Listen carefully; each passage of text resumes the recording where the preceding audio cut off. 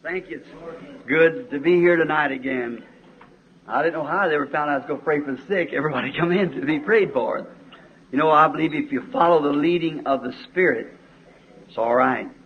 That's the best. That's a message that never fails. Now, I was sitting in the room today after a certain minister that's just so dear to my heart, three of them. Three of my real good friends. they told me they was coming to go to lunch with me, and I thought, well, that's just fine, you know. So uh, I just eat a little bit of breakfast because I sure they was going to pay for it, you see, and I'd have a, a good full dinner. And so uh, 12 come, 1 come, 2 come. Nobody there yet. So there was police was chasing a criminal down there in the yard, so I went down to see that episode. I couldn't find Brother Jack at all. so uh, come to find out, the hotel man had given him the wrong number. He was ringing the wrong door all the time. or I, I wasn't that. I let him pay for me one again, though, sometimes. Him and Brother Tracy, I sure glad to see them and Brother Brown tonight. It just seems like we ought to go back in Arizona again. I can remember coming across the desert the other day. I told my wife back there, I said, here's where Brother Jack sat in the back of this little Chevrolet. Brother Brown, he and argued all about the the original creation, whether it was done in six days or whether it was done in six million years. That was a good one. They get so arguing, they get out and get a handful of rocks, and one get behind one pole and one another and throw rocks at one another just. They couldn't settle it that way say, I can outrun you. Down the road they go to Brother Jack, a little short fellow, just as hard as he could twist, and Brother Young with them long legs, you know. I never so much in my life. And then Brother Jack got back in the car and pulled off his shoes. Brother shared to give us a big sack of oranges, and he half cleaned them up before he got the to Shreveport. you know, all them's golden days, old. Yes, sir, they're golden days. I know it sounds jokey, funny, but it's the truth. But we, there's something about that as you get older and begins to linger on your mind. You think of those days that you wish you could live again. That's right our younger days. As we get old, they all become pictures. I'm so glad it was pure and holy, brotherly uh, fellowship and love, knowing that we're going to a land where we'll never get old, or that great land yonder where we'll never, never grow old or never die. One of our precious brothers, so dear to us all, just crossed over in that land. Every time I come to this platform, I, I guess I'll think of Brother Lyle. I looked over last night, seen little Judy sitting over there, and my heart was just pounding. I was thinking of how she felt. I know when Dad died, how felt we only have to go through those schools of suffering to know how the other fellow feels. I believe I'm looking at an old minister friend sitting here. I just can't call it. Is that right? You used to pray for the sick here all the time years ago. Earholzer, that that German name. Get it fixed up just right. Brother Tracy, I met him out there, and I've known him about 10 years, and I said, You haven't aged six months in that 10 years. We are living in a world that must cease someday.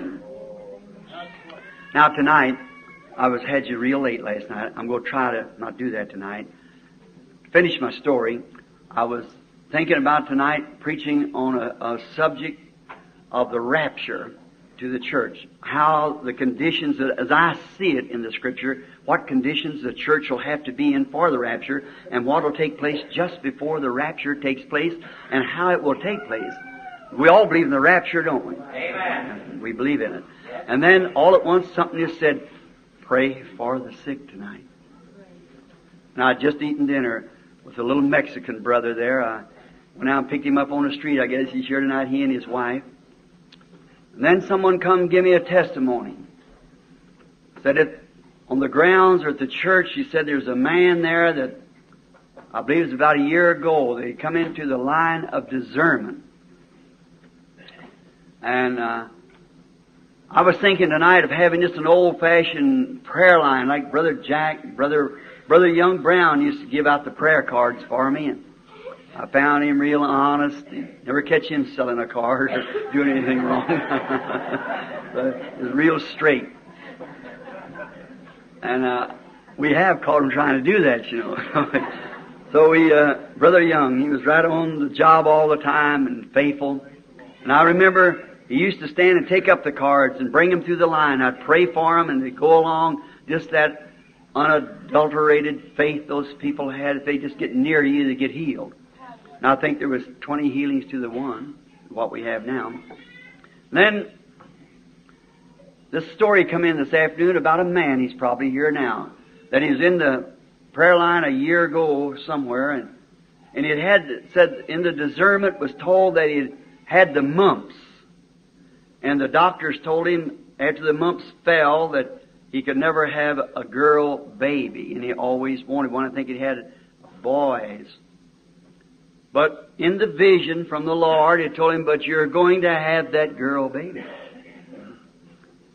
And uh, he said he's got the little girl here tonight. I don't know the man might. Or would he be in the audience or the person that I'm speaking of or somewhere? I don't know. Somebody just told me about it outside.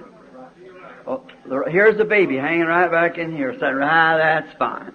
That's very fine. What a sweet little fella.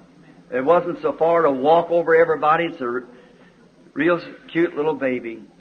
I'd have her come out here and give the testimony. Maybe she will by tomorrow or sometime when we're having our services. Now tomorrow morning is the businessman's breakfast. Have you announced it? I guess it's all. That's fine. And now let's have a little a little lesson on divine healing. How many believes in it?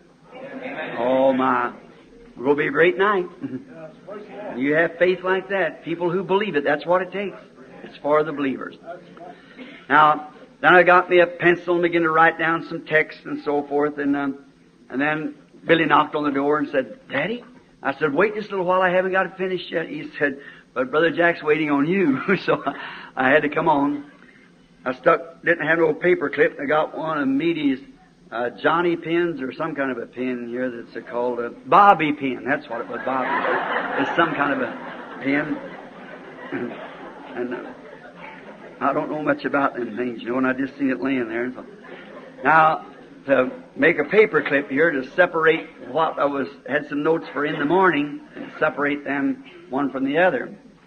And as I get older, it used to be I could just remember them scriptures and things just so easy. But you know, kind of hard to do. You find that trouble, Brother Jack? Yet? Yeah. I told Brother Jack here not long ago. I said, you know, Brother Jack. I said, I'm getting so I can't remember. I said, I start to say something and I have to wait. He says, is that all the farther along you are? And I said, well, isn't that far enough? He said, No. I said, I'll ring up somebody on the phone and say, What'd you want?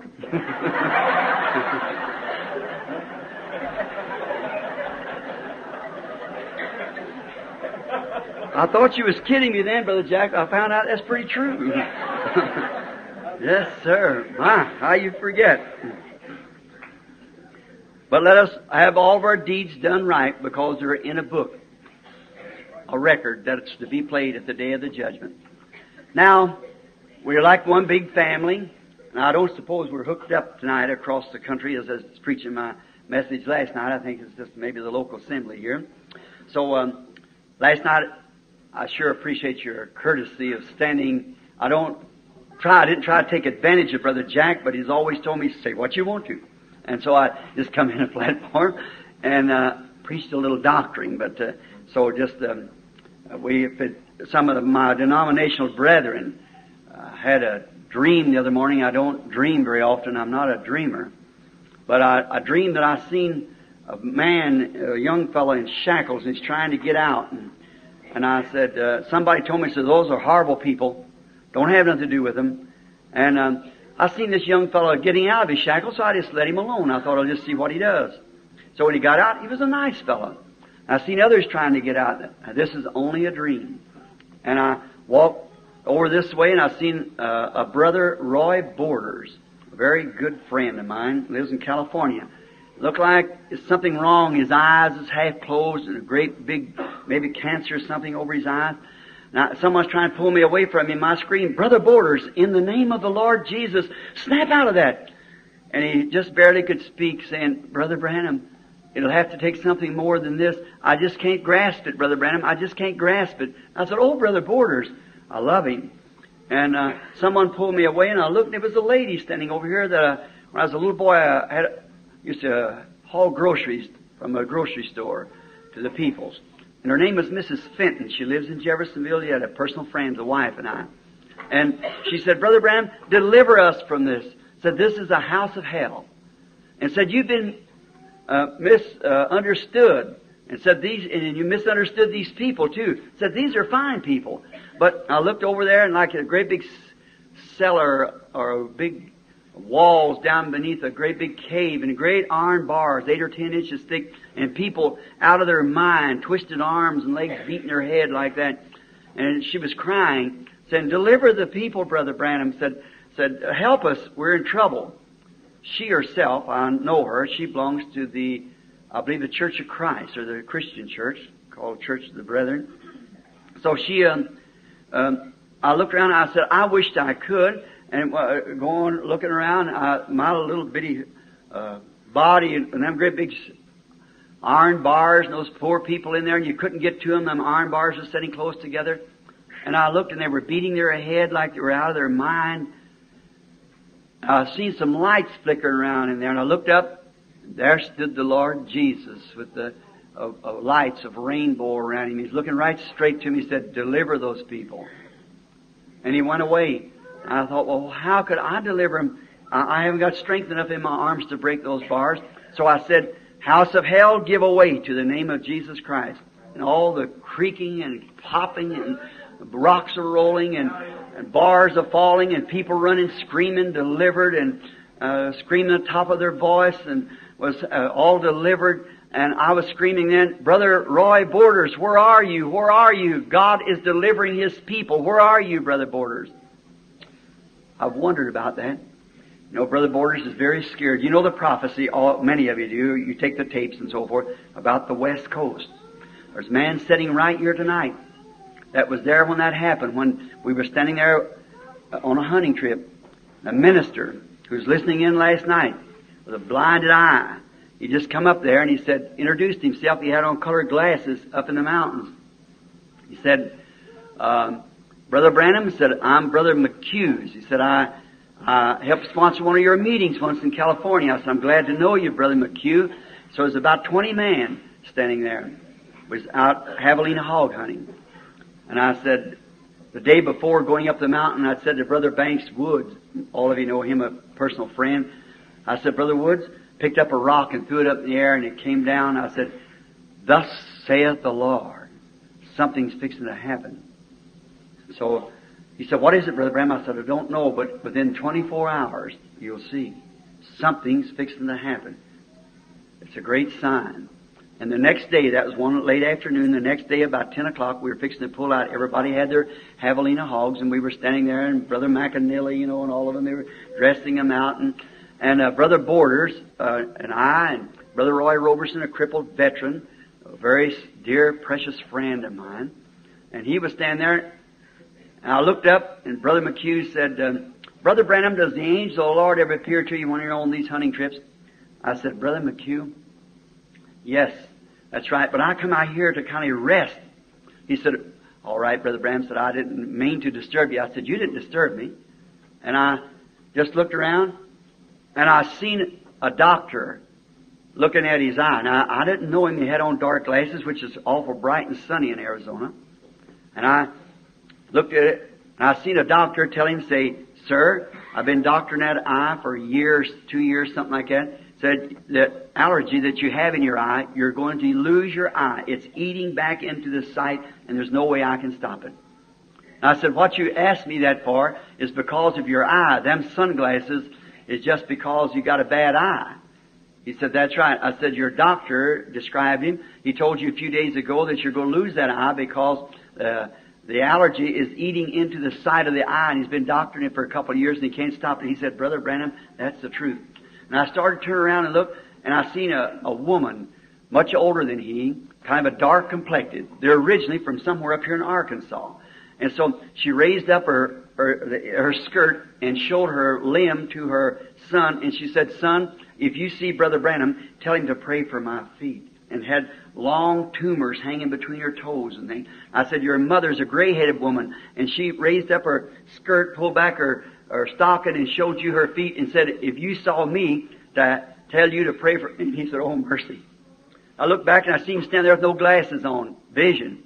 I said, Thus saith the Lord.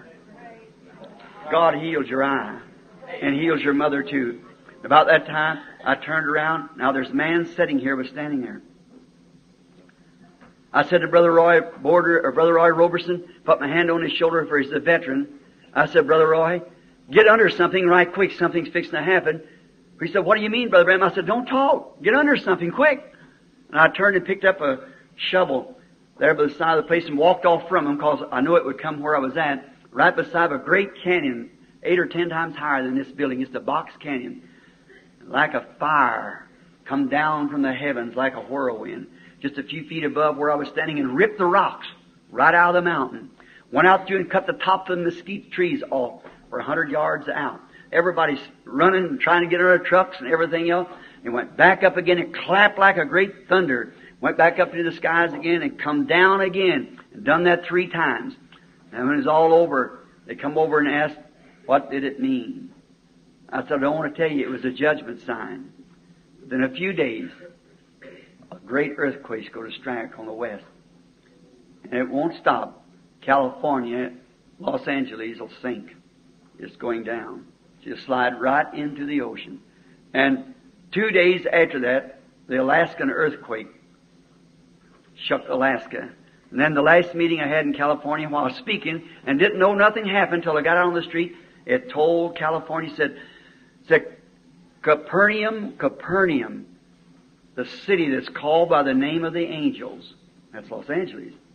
You've exalted yourself into heaven, but you'll be brought down into hell. For if the mighty works have been done in Sodom, that's been done in you, it would have been standing till this day. Now, the last few days, a great roaring and popping. Then here come out a paper of science said all honeycomb, it's got to go under. Just know it.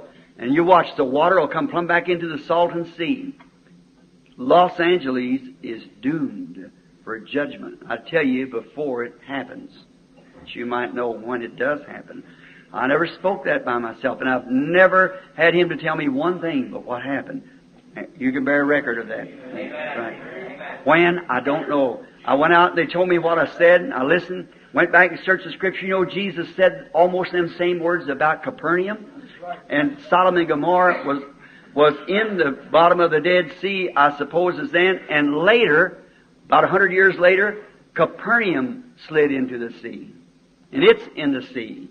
The same God that put Sodom in the sea for its sins, the same God that put Capernaum in the sea for its sins, the same God will put Los Angeles in the sea for its sins. That city of, of corruption. Brother Roy Borders is scared to death. I don't know whether to, what that meant that or what. I don't know. Let us pray. Lord, it's so good to testify to real listeners. We believe, Lord. Help our unbelief. And we realize that we're going right down the road now to the end of the world. Just what time, we don't know, but that secret catching away of the bride. One of these days, Lord, we'll be, we'll be raptured, caught up with Him, and we're waiting for that day. Prepare our hearts, Lord. There's many. We look laying here on these cots and stretchers, men and women who are bound by the enemy. There's people sitting out there, perhaps if you don't touch them, they'll die with heart attacks. Maybe some of them eaten with cancer. Father, Thou knows the heart of every man. You know whether it's true or not true. And we say these things because that we know what you have done. Your great power has delivered so many. We're witnesses of it, though they try to tell us that those things doesn't happen. But it does, Lord. We are witnesses. I pray tonight, Lord, that somehow you'll build faith in these people's hearts that every one of them will be delivered. All these sick and afflicted people. May it be so simple, Lord. Just let us, as we try to teach the Word, let the Holy Spirit take my mistakes, Lord, and correct them in the hearts of the people. And make it a real, real night that the that He can bed Himself into the heart of each believer here. We set this night for that purpose, Lord. May those who are not saved, above all things, be ready. Get ready now while the doors of mercy still open. We ask this in Jesus' name. Amen. Now we're going to turn to the scriptures to start with. And then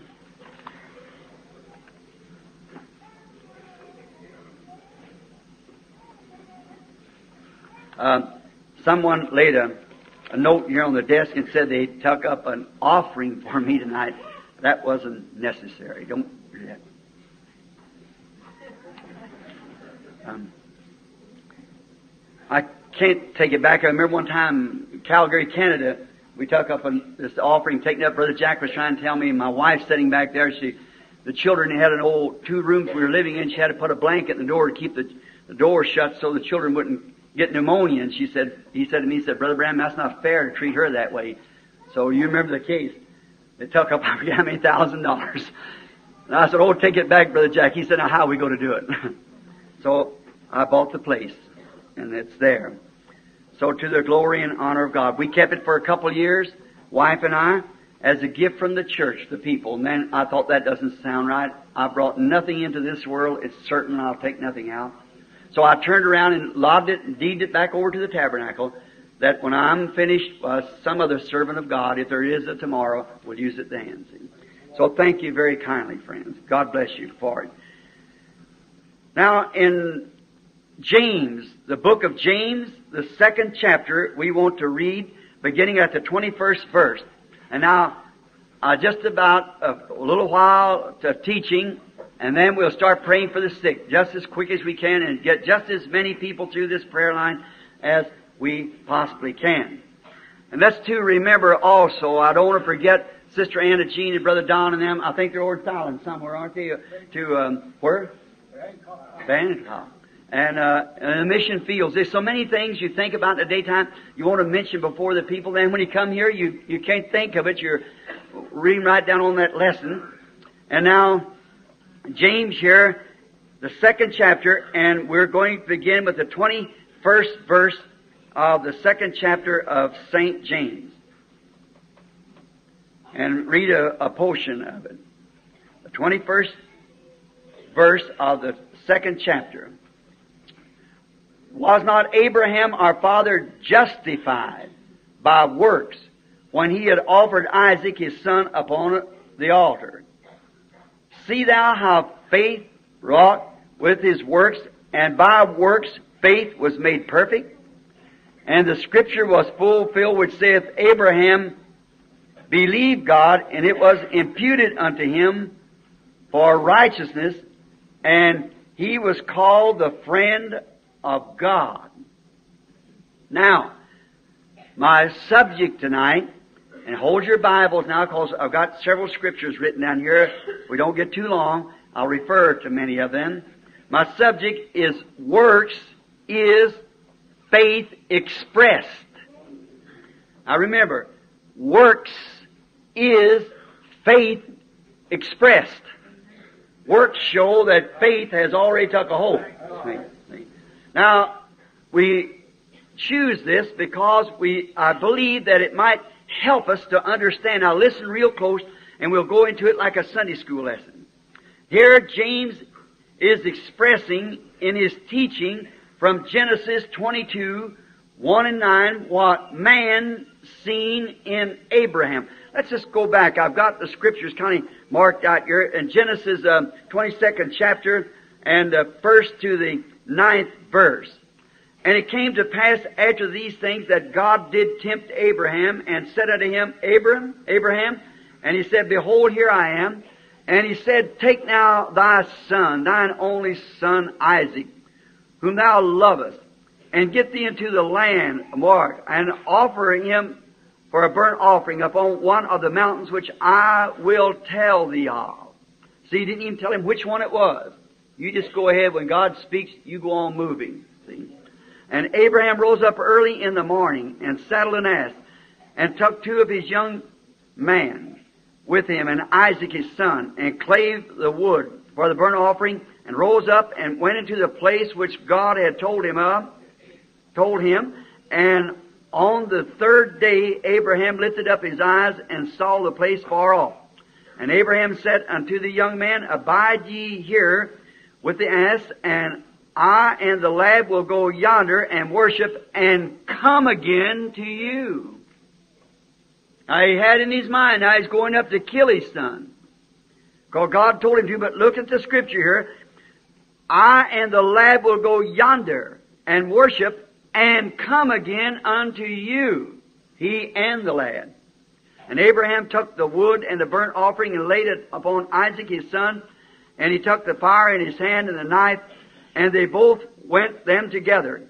And Isaac spake to Abraham his father and said, My father. And he said, Here am I, my son.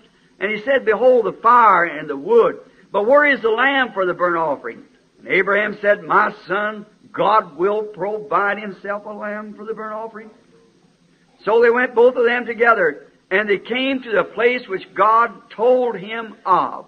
And Abraham built an altar there, and laid the wood in order, and bound his son Isaac his son, and laid him upon the altar upon the wood. And Abraham stretched forth his hand and took the knife to slay his son. And the angel of the Lord called unto him out of heaven and said, Abraham, Abraham. And he said, Here am I. And he said, Lay not thy hand upon the lad, neither do thou anything unto him. For now I know that thou fearest God, seeing that thou hast not withheld thine son from me, thy only son from me. What a word. Now, we find here that James is justifying Abraham by his works. But now in Paul, in Romans, uh, the book of Romans, the eighth, the fourth chapter, for one to eight. I won't read it all, but just read part of it. And what shall we say then that Abraham, our father, as pertaining to the flesh, is found? For if Abraham was justified, you remember we took the word last night, justified, by works he has whereof to glory, but not before God. For what saith the Scripture? Abraham believed God, and it was accounted unto him for righteousness' sake. And to him that worketh is the reward not reckoned of grace, but of debt. Now, now what Paul is referring to here is what God's seen in Abraham. Now, that's if we if we it's not turning too much, we go back again to Genesis, the 15th chapter, and the 6th verse. 15, 6, I believe is right. We're going to the 5th. And he brought him forth abroad and said, Look now towards the heavens and tell the stars if thou art able to number them. And he said unto him, So shall thy seed be. And he believed in the Lord, and he counted it to him for righteousness. Now the two men that we're talking on faith, Paul justified Abraham by what God saw in Abraham. But James justified Abraham by what man saw in, in Abraham. See now, uh, James said he's justified by his works. Paul said he's justified by faith. But see, Abraham believed God. That's what God saw in him. He believed it. But then when he went to acting as though it was already done, that's what man saw in him. And that's the same as it is to us. Because our works express what faith we have, but if we're afraid to act on what we believe, then we do not believe it. Okay? We've got to believe it.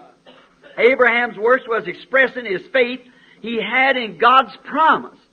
Now, Abraham, remember, he was 90 years old or 100 years old. And Sarah was 90 years old. And now they were well stricken in age. Past childbearing, had uh, been for many, many years, and they'd lived together as husband and wife since they were young. No children, but yet God told him when he was 75 years old and Sarah 65, you're going to have a baby. And he believed God's promise. He believed it. Now see, he made ready everything for this baby. See, that's what God saw when he believed God, and man saw what he did to express what he believed. And that's the same thing it works tonight. The same way it is with us.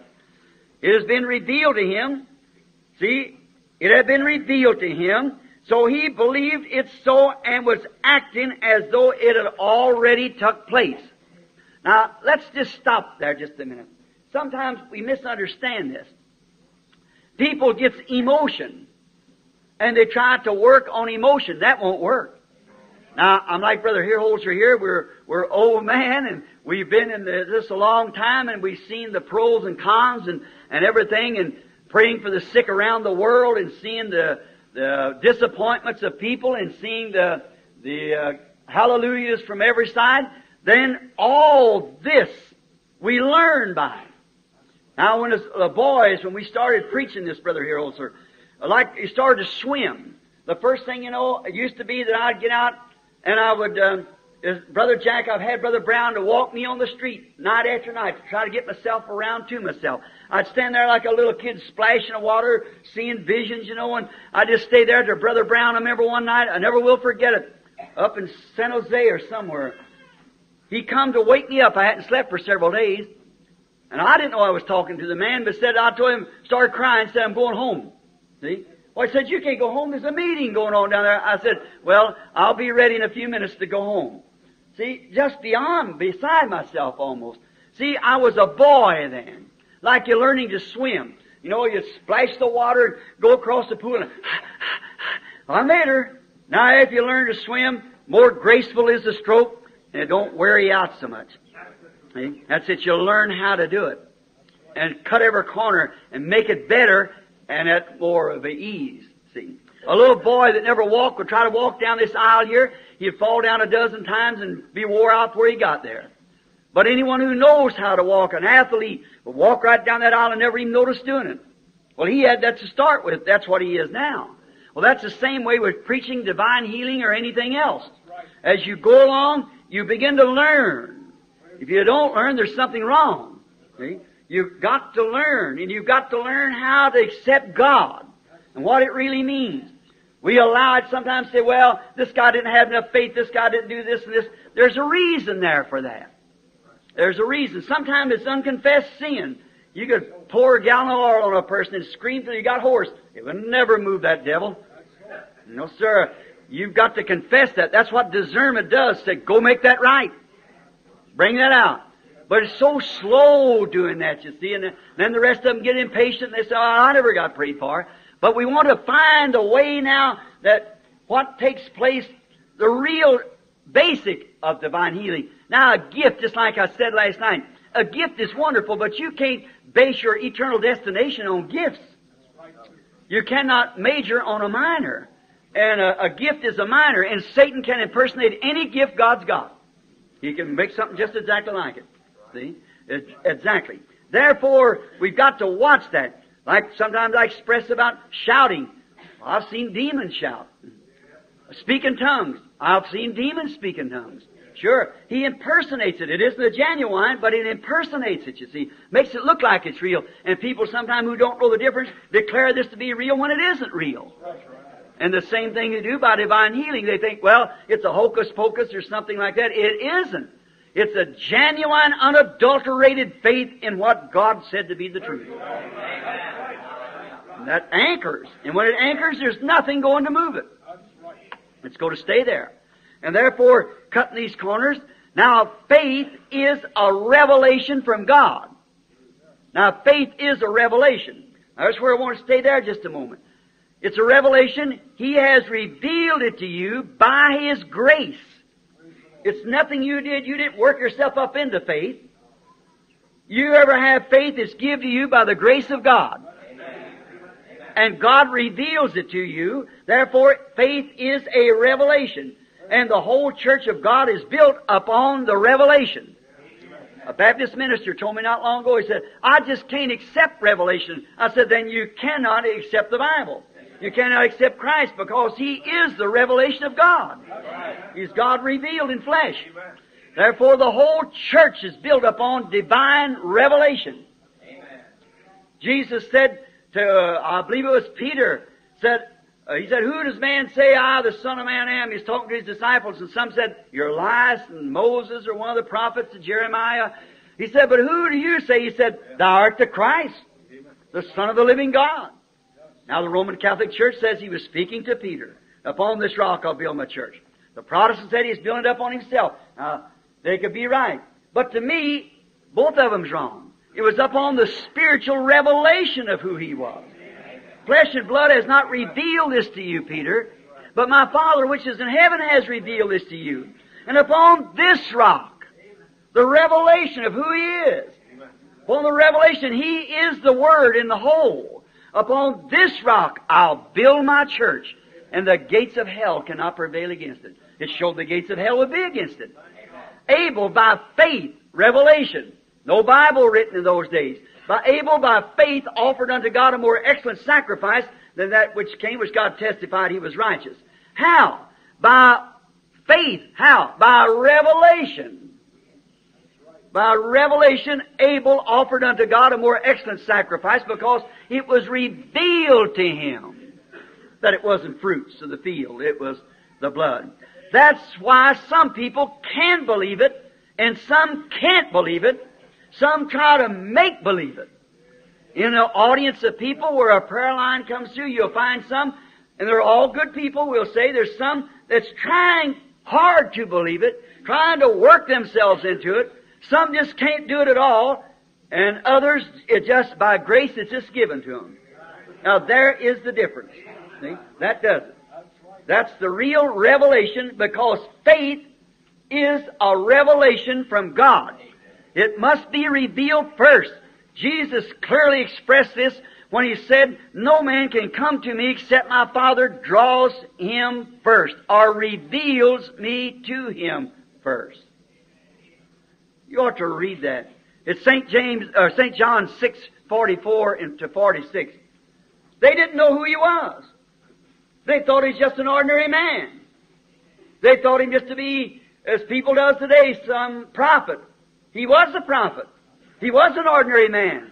But there was more than that. It's like last night speaking, when you get the book, you're going to see maybe a little confusion there of what I said, the two books of life. It's the same book. But one of them is your natural birth. The other one is your spiritual birth. One leads out to the other, and it's like a stalk of wheat. Well, now you talk of me, you talk of me as a living person. But there's a part of me here is that person that must perish. That's the book that the name comes off of. But the eternal one, the predestinated one, the elected one, the name never can come from that because it was always on it. It can never be taken off. You'll notice it in the book so to save your confusion. You'll find it that way because I think Brother Vayle, who put the right grammar to it, uh, reminded me of it today. I said, that's right. Baptists believe there's two separate books, and in one way it is two separate books, and another way it isn't two separate books. I'm two separate people. I'm body and soul and spirit, three separate people, but I'm only one makes me as a being. There's only real one book of life. Like there was one germ of of the wheat that come up through the stalk and went through the toss and out through the husk and into the wheat. All the way along that you say that ah, that's a wheat laying there. It isn't the wheat, it's the stalk, but together it's the wheat. See? It's the wheat because it's all one stalk, but the wheat is what you're talking about, the grain at the end of it. If the others was a carrier, it must perish. That's the one, one place sounds like you can have your name taken off the Lamb's Book of Life, another place you can't do it. So that's where it is. It's all in that great revelation there which was made known during the time of the seven seals. Why, why some people can't believe it, Jesus said that no man can come to me except my Father draws him first. And all that the Father has given me will come to me. No man can understand who he is or how it is except to be revealed to you by the revelation of God and then faith in that you act accordingly. See? Here we see plainly that God is revealed in Jesus and only those who were foreordained to see it will see it. Be sure to read this scripture. I omitted it then. That's St. John 6, 44 to 46. I omitted it because I thought maybe we'd uh, have a, maybe a, not enough time to go through because that clock up there just keeps moving. And so we, uh, you notice, no man, no man can come except my Father draws him first. And all the Father has given me, they will come. They'll recognize it. No other man can do it. No other person, no matter how good who you are, it's got to be revealed to you. Then you see who Jesus Christ is. Now, here, predestinated plan is in plain view. Just as other seed, the Word of God is a seed and must have the ground prepared beforehand. If you sowed seed, just throw it out there on the ground, it would do no good. The birds would pick it up. If you throw it among thistles and thorns, it'll choke it out pretty soon. Jesus' parable said so. So the ground has to be made ready first. So God, in sovereign grace, prepares the heart first.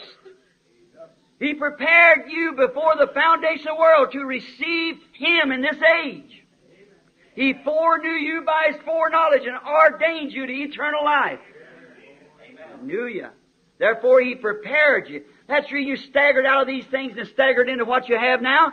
It was God leading you to the place where He had ordained for you to be. It, or it, if it, this ground isn't prepared beforehand, it can't grow. That's the reason the seed of faith, when you're preaching faith, see the discernments of the Lord and see what takes place and all the gifts of the Bible working. People work themselves up, oh hallelujah, I believe it, and come up and find themselves disappointed. See? The ground has to be foreordained. And you know when it strikes it. Like my little eagle last night. He knew when he heard that scream of that mother eagle, there's a lot of difference between that and the cluck of the hen. Because he was an eagle from the egg. Not he wasn't made an eagle right then, he always was an eagle. And a Christian always was. That's the reason the divorce, when you're divorced because you were trapped into it. See? By your first parent, Adam and Eve. You become a sinner by nature. You didn't want to be. But now you heard the gospel and faith cometh by hearing. Revelation comes by hearing. There is a little something inside of you. Another man sat right by you. He said, Oh, I don't believe that stuff. Nonsense. I don't believe that. Nothing to that. Like the day on the day of Pentecost, and laughed and said, These men are full of new wine. Oh, it was, it was a great thing to those it was happening to. Why? It was God revealing Himself to the individuals. While others laughed, these were rejoicing. It was an individual revelation, which is faith. Faith, it's revealed. If it wasn't faith, then it wouldn't even be there. It was faith. Just seeds has to have the ground prepared first. Therefore, all he foreknew, he called. All he called, all he foreknew, he predestinated. If you want to read that, Romans 8, uh, 28, 34, and also Ephesians 1, 1 to 5. See? All he foreknew, he did call. All he called, he justified, and all he justified, he has already glorified. There's nothing out of order. We think there is, but look in the scriptures. It's just hitting exactly the way God's Word said it would. We see the message is rejected today. Isn't that just what the scripture said they would do? Sure. All these things are ordained of God. Oh, it should make you walk happy. That's the trouble with we today. So much difference from the Christians of old. When the real true revelation of Jesus Christ being Emmanuel dwelt in the hearts of those men, they were rugged people. But today we're padded by denominations of, oh, I tell you, they ain't got the revelation. You come over here, you're depending on their revelation. If their revelation isn't according to the Word of God, then it's wrong. Mine or anybody else's. That's where the showdown comes. The Word of God tells which is right and wrong. And you see, that's to have its ground. Of course. Therefore, all he foreknew. See, he already knew what was going to happen.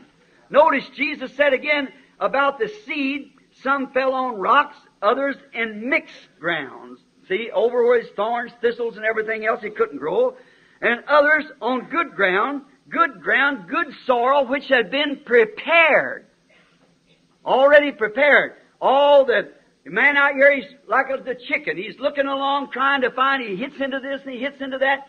But after a while, there comes a sudden scream from heaven. He recognizes it right quick. That's the Word of God. See? He knows it because there's something in his heart that's been told to him, revealed to him about it. Notice, the prophet Isaiah said, A virgin shall conceive. What a strange thing. How a, a man in his right mind could say that. There's never been a virgin conceived. A virgin shall conceive. Now, he didn't worry about saying it, he just said it. How's she going to do it? Well, that's not his business. He, uh, it's just to say what God said it, it was going to do. God revealed it to him. Showed him the vision, revealed it, and it was right. Just the same God that told me that little baby would be born by that man who couldn't have a, the child uh, have a girl. Like others and things, how do I, it sounds strange when the doctor says it can't happen, but when God says it's going to happen, it depends on what kind of a word that falls in. Remember, the prophet stood up there and his word went forth. Like God in Genesis 1, he said, let there be light. Let there be this. Let there be that. Created man in his own image. The image of God created he, them, male and female, and there was nothing on the earth yet. Then we find out in Genesis 2, here he made man in his own image. There's no man to till the soil after the rest of creation. What was it? He, it's his words. He was speaking it. And when he spoke, he said, let there be light. There might have not been light for 800 years afterwards. Might not have been no light, but he said it. And as long as he said it, let there be a palm tree, let there be an oak tree, let there be this, them seeds was forming down beneath that water. That's right. And in the season, in the time, in its own season, it brought forth. It can't fail. It's God's Word. It just can't fail. It's been expressed. Now, one day God talked to man face to face, but in time of Moses, when the fire was falling, they said, let God, let Moses speak. Not God. We might perish. Therefore he said, I'll not speak to him like that no more. I'll raise him up a prophet. That's the way God's system always was. Now here's a prophet standing. Now he's under inspiration. He doesn't think about his intellectuals. Well, wait a minute. If I'd say that, well, you know the people think I'm insane. See, that's his intellectual. There he's listening to Satan, just like Eve did. And as long as the doctor says that you can't live, you can't get well, you can't do this or that, as long as you listen to that, that seed will never fall in that kind of ground and do any good. It can. But when something tears all that away, and it falls in that bedded ground, there's nothing can tear it out. Now, no matter how long it takes, it's going to happen. Now he said, a virgin shall conceive. Did you know it was 800 years before that happened? God foreknew the woman who she'd be, what her name was, where that seed would fall into. Do you believe that? Amen. Sure it did. And from a literal womb would come forth this great miracle. God knew about it. He just revealed it to his prophet who was faithful and spoke the word without even thinking about what it was. He just said it. He never tried to reason it out. If you try to reason out, what if this man, this woman, or this man sitting here, or somebody try to reason, now I've been crippled all these years. The doctor says there's not a possible chance. Well, it might not be, as far as he knows. And that's true. But if something can tear away them weeds, if God by His grace, not the preacher, not nobody else, but God, can place into your heart a revelation that I'm going to be well, there isn't nothing going to keep you sitting there. There's nothing can hold you there. You're going to be well. But until that does happen, you're going to sit right where the doctor says you're going to sit. Until that happens, it has to be revealed. It's the grace of God that reveals it. Now, notice, God knew the woman it would come to. Notice Isaiah. There was no question. Isaiah didn't say, wait a minute, Lord. Wait just a minute. What did you say to me? A virgin's going to conceive. Well, now, now oh, wait, Father, there, there, there never was such a thing as that done. He didn't hesitate. He just said, a virgin shall conceive. Right? Notice Mary. Now, now, Lord, wait a minute. You know, I, I never knowed a man. This is impossible. Nothing like this never happened. Oh, oh, no. Nothing like this never happened. How am I going to have this baby? I don't know any man, so it can't happen. Uh, Angel, you're just mistaken. I've got an optical illusion. You know, my church says these days are gone. No, it had never fell in such a place as that. Mary never questioned. She said, How can it be? I know no man. He said, The Holy Ghost shall overshadow thee. That's how it's going to happen. She said, Behold, the hands made of the Lord. No question. See, Isaiah, when God produced the word by thought, revelation into the heart of Isaiah, it fell into the right grounds as a prophet. That prophet didn't care for any man's wisdom. He didn't care for any man's intellectual. He didn't care about the person of anybody. He was a dedicated channel to God, and God spoke and He spoke. That's all. Whether it hurt, whether it didn't, whether it sound crazy, whether it didn't sound crazy. Didn't make any difference to Him. It was God, not the man. And when that word went forth, now it becomes a seed. It has to fall somewhere. If God said it, there's bound to be a womb somewhere for it to fall into. Just as He said, all things are possible to them that believe. If you say to this mountain, be moved, and don't doubt in your heart, you can have what you said. See, there's got to be somewhere that's right. Notice. Now we find that Isaiah here spoke it. The Virgin Mary, as soon as the grounds was already broke up, she had been a virgin. She hadn't run around. The grounds had been already prepared or predestinated by foreknowledge of God. Even said she's a virgin. Right then, God knowed what her name would be. For her name was on the book of life in heaven.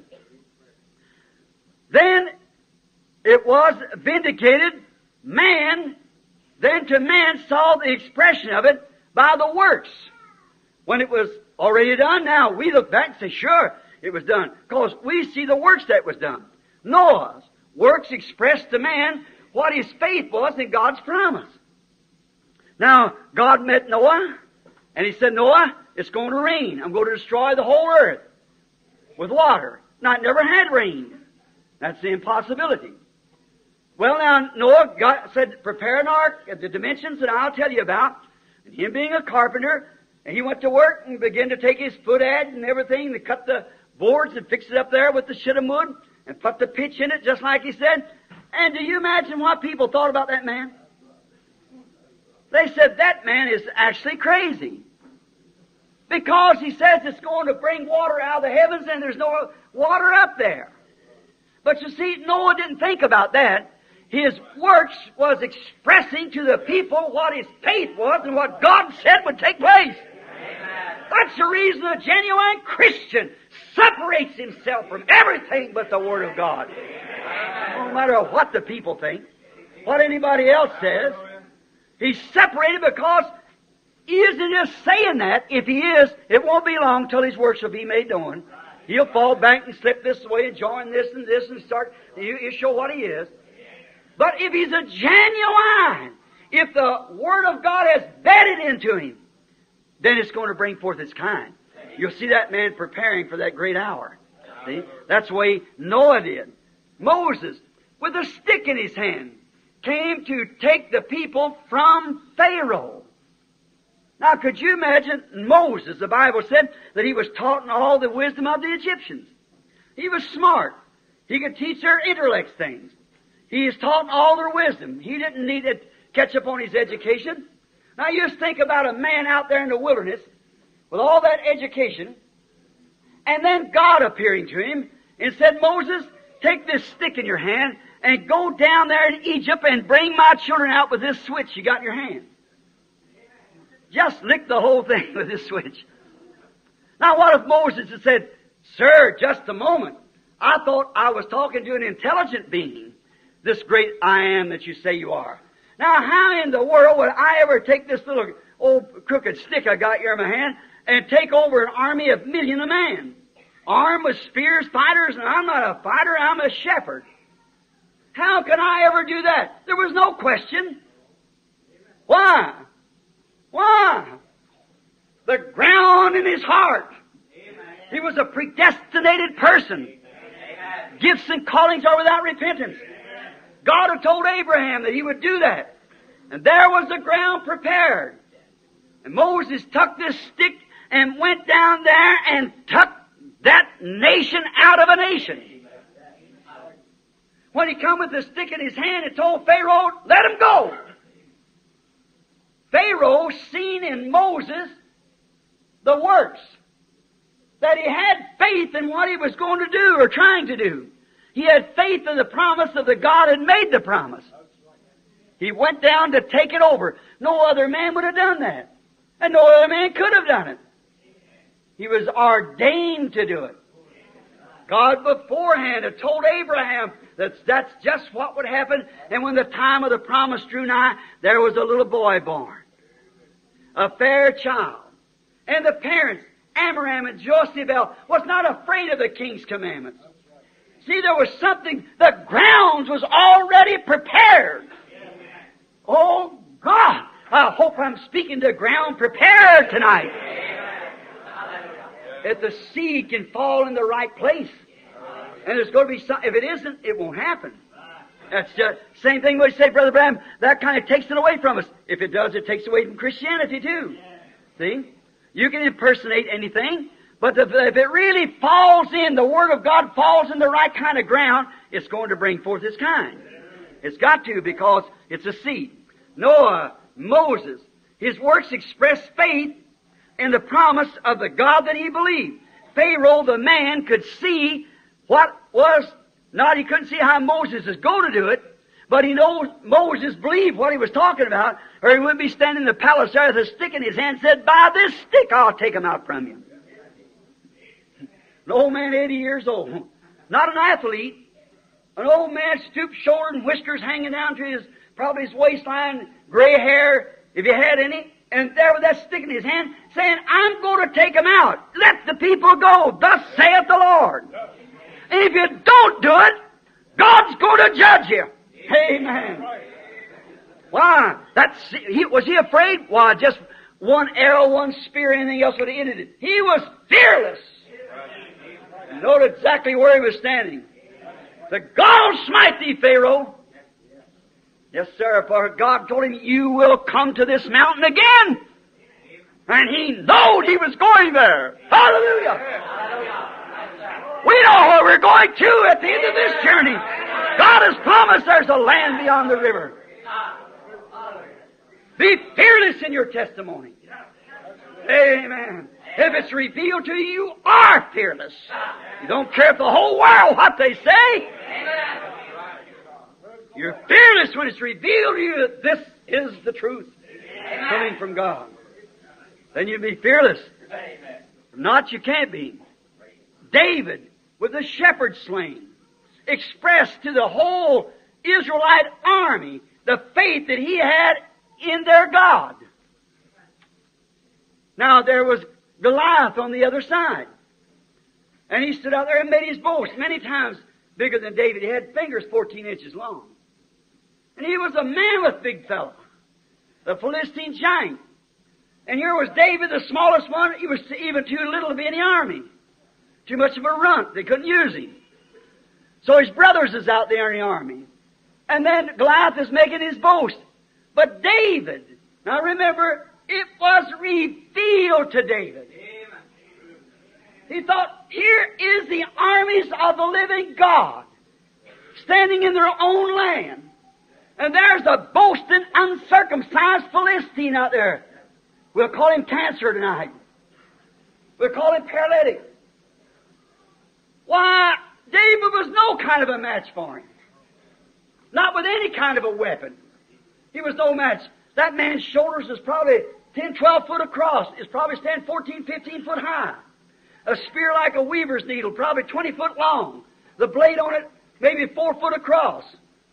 And a little David stand there with a little piece of leather, goat skin or sheep skin, with two pieces of string tied to it. But it was revealed to him. Revelation struck him. Amen. He said, The God that took me out of the paws of the bear, that took me out of the paws of the lion, how much more will he deliver that uncircumcised Philistine in my hand? His brothers, way more able to do it, Saul head and shoulders above his army, but you see, it wasn't revealed to them. Amen. There it is. They believed it could be done. They believed that God could do it, but it wasn't revealed to them. But it was revealed to David. Now there's a difference right there. if it's absolutely revealed to you that God is going to heal you, you you're going to get it. You're going to get, I don't care what's wrong with you, what the odds it may be worse than David and Goliath. But if it's revealed to you, and notice, when it's revealed, David becomes fearless. He said, The day I'll cut your head off. That's our God. By grace in that crucial moment when decisions had to be made. That same God that produced the grace in that day and dropped that seed of faith in that little hunchback looking boy's being in his heart, that same God in this crucial moment can take that woman from the wheelchair, that man, this child at trouble. That little grain of faith is revealed to you. And I don't care how long it takes. Now, notice, the giant on the other side didn't believe it, neither will the cancer. He laughed. He said to my dog, you send that kid out here to fight me? Said, I'll pick you up on the end of a spear and let the birds eat your flesh. Why, he had all the, all, everything for his side, but you see, that didn't shake David at all. Why? It was revealed to him. He had faith in what he was doing. He knew he was going to do it. And he did it is because that it was revealed to him and he knowed where he's standing. And if God would have spoke that right down in your heart tonight and said, you're not going to be laying in that bed. You're not going to be sitting in that chair. You're going to be well. There couldn't be anything change your mind in it. But until that happens, every preacher in the world could pray. I don't say it wouldn't help you. It would. It encourage you. But until that faith, see, the healing power is in you. It don't come from the preacher. It comes to you by revelation, by faith. Not by power, not by might, but by my spirit, saith the Lord. My spirit, by grace, reveals this to you. And there's nothing can take it away. By faith. Revelation. Then, David, to prove his works. Now, some of them said, I know you're naughty.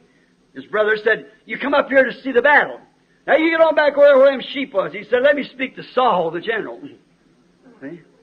And Saul said, Now, son, I admire your courage. But you see, you're nothing but a youth, and he's a warrior from his youth. You're no match for him. He said, I was tending my father's sheep. he could base it on something. Amen. Oh, brother, and the God that saved your soul, can He heal your body? It's just the same revealed to you, He's your healer as He was your Savior. But it's got to be revealed first. That's the difference. He had something to base his faith on. He said, now this never happened before, but said the same God that delivered me from the paws of the lion will deliver me from that uncircumcised Philistine. How you know, David? I believe it. Why? It's been revealed to me. And he said, he knew what he was talking about because when the giant said, I'm going to feed you to the birds, he said, I'm going to cut your head off. There's the difference. See? And he did it. Samson caught out one day off guard in a prairie and here come a thousand Philistines up on him. And he looked down on the ground, and there's where a mule had died. And he picked up the old draw, jawbone, dry as it could be, and took out after those Philistines, beating them over the head with this old dry jawbone of a mule. And as far as I know, not a tooth ever fell out of it. And them Philistine helmets was probably inch thick, because they beat one another with war clubs in those days to keep a man from beating him on the head, but he took the jawbone of that mule and beat down a thousand Philistines. And the jawbone never broke. You just kept beating him like that as he come up. The rest of them took off for the rocks. They're just getting away from him. Why? He believed it. Sometimes, sure, uh, I want to tell you something. Work on that pulsation, that spare of a moment, like Joshua did. like Mary Magdalena. Although just that moment when something is revealed to you, grab it. Hold to it. That spare of a moment. Yes, it was revealed to him. He went to meet these thousands Philistines. Now what do you think? When those Philistines said, now look, come in there.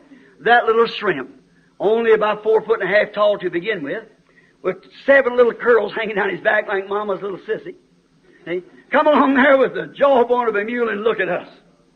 What a great army we are. Isn't that ridiculous? But what was he doing? He was expressing to those Philistines what had been revealed to him by God. He grabbed the jawbone and took off because that's what he put in his hand. He put that in his hand. That's what he believed he could do it. And by doing so, he was expressing to those Philistines what God had put in his heart to do. John the Baptist expressed his faith by his works. And when he said, There stands one among you now. Just think of that. St. John, I got the script, St. John 1 26. See? He said, they said, you say the Messiah's coming? Why? He said, man, what's the matter with you? We've been looking for him for 4,000 years. He said, he's standing right among you now. Hallelujah. Hallelujah.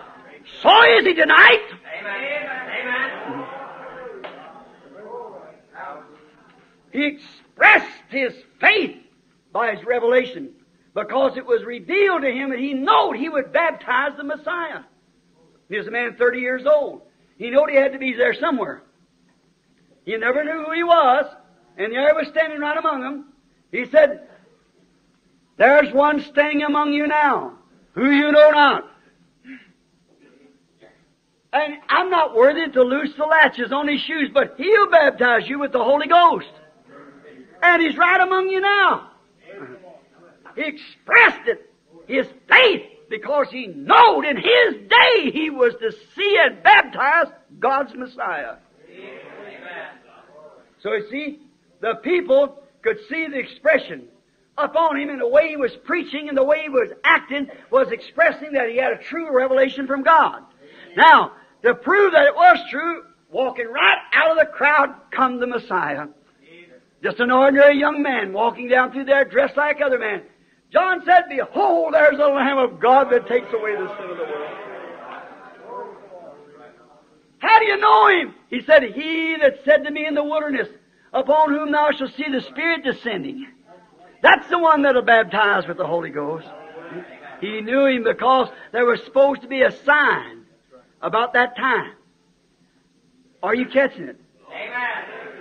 John knew just about the hour. Because he was a prophet. It was revealed to him. Didn't know it'd be about that time. He'd see a sign. And when he seen that sign, he says, He's standing among you. Amen. He knew it was there. Amen. Well, I see the sign Amen. that the end time is here. I see the things that's promised for this end time message coming to pass, unfolding just exactly like the Scripture says. Amen. And I know that the time is at hand. Amen. I say that without hesitance. I believe it's right at hand. Amen. For I see the signs that he said would happen just before that time. It's ready to happen now. John expressed his faith in what God had revealed to him. Therefore, works is faith's testimony. When they see you acting like you're healed, then they'll know you got faith that you are healed. What does testimony say? Saying this, I have it now. Because I have received God's promise. It is now working in me. I am making ready for it to happen. See, that's what your test, your works does. Well, sure. Here, some time ago, Next to my last trip in Africa, I was just over there this spring, but trip before that, there's a little uh, baby. It had club feet and one foot uh, leg shorter than the other. It never wore shoes in its life. Oh, it's the most horrible deform. And I prayed for the baby that night. They'd watched and seen those things done. They prayed for the baby. And the next morning I went out, and walked by a shoe store, and I walked in there, and there was the man buying the baby a pair of shoes to wear. He believed it. Like this man over here that believed that God would give him the baby. Sure, he believed it's going to happen. Made ready for it. I'm making ready. Although no physical results seen as yet, but that didn't make a bit of difference. He believed it. Like Abraham called anything contrary as though it was not so. There. Therefore, if your intellectuals does tell you, oh, here's the stinger now. If your intellectuals does tell you that this is the truth, God is the healer of sickness, your mind can witness that that is the truth. But if there is not the bedding ground in your heart, faith to fall in to express it, it will not happen. No much, no matter how much this outside man can reason it with the scriptures and say it's right. That still doesn't make it right. How many takes the tapes? Did you get my sermon out long ago? The anointed ones of the last days? Did you believe that? Amen. See, it said there will be Antichrist. Antichrist would almost deceive the very elected, if possible. Can't, it can't because it's impossible. They're elected. See? All right. But he said the anointed ones. See, Christ means anointed. But these were anti, they were anointed, but anti against Christ in their teaching. Now they could do anything that the rest of them could do. Now remember, you're in a cycle of threes, but you're one person, like Father, Son, and Holy Ghost. Cycle of three, but one person. Three attributes of the same God. Fatherhood, three offices like. Fatherhood, sonship, and Holy Ghost. And you are body, spirit, and soul. Now the outside body has five inlets to it to contact your earthly home. See, taste, feel, smell, and hear. The inside, which is the spirit, it has five senses. Conscience and love and so forth. But the inside of that, the soul has one thing. That's where you live. The Spirit can come out here and anoint you to do certain things. And you do it. But that don't mean you're saved. Think of it. Caiaphas prophesied. Judas cast out devils. See? The Spirit anointed him. This rain falls on the just and the unjust. The weeds can rejoice with the wheat. But it's what it is at the core. That's where you can, intellectuals can accept it say, oh, sure, that looks good. I believe that. That still don't do it. No, sir. And the Spirit can actually make witness of it, and still it isn't so. Because if that soul hasn't come from God, it can make all the impersonations out here, but it cannot be real. You can act healing. You can act like you have. You can act like you receive it. Christians can act like they're Christians and act to be ever so good at it. But that don't mean they're saved. That's exactly right. See? The Spirit can be there. The real, genuine Spirit. The Holy Spirit can anoint you. That still don't mean you're saved. It's that inside soul that never dies. It's got eternal life. It always was eternal life. See? It comes from God. It goes to God. It's the soul. Now, notice that. It's got to be five. F-A-I-T-H, outside. Spirit, J-E-S-U-S, on the inside, Y-O-U. See? That's how I'm standing here looking at you. I don't know one of you. The Spirit can anoint me. Still I don't know none of you. But when that inside of the inside breaks in, that's God. That's where the outside can reason. You take a man say, well, you know, I, I know I'm not supposed to commit adultery, but, you know, then the Spirit tells me I shouldn't commit adultery. But you see, way down in there is still that thing in there. See? It'll kind of govern around, and, but watch it. But when it's directed from the inside, it throws all the rest of it together. That's the guidepost. That's a control tower. The inside of the inside. The soul controls the spirit. The spirit controls the body. So an outside whitewash don't make any difference. Them religious people back there, Paul called whited walls and so forth, they were outward just every way of a, a believer and they had prophecies among them and everything else, but the inside of the inside. The soul that disbelieveth. That's the reason I say people can jump up and down and speak in tongues. People can shout, lay hands on the sick and heal the sick and so forth by faith. All these great things there by the Spirit. Still be lost. Anointed ones. Notice, Jesus has said, only believe, for all things are possible to them that believe. Faith and works are husband and wife. They work together. The husband works with the wife, the wife with the husband. They identify one another. Like a man says he's married and yet he can't produce and show that he has a wife. You doubt his claims. Man said, I'm married. Where's your wife? Well, I don't know about that. Be kind of hard thing for me to believe him. I say, where is your wife? Well, I don't know.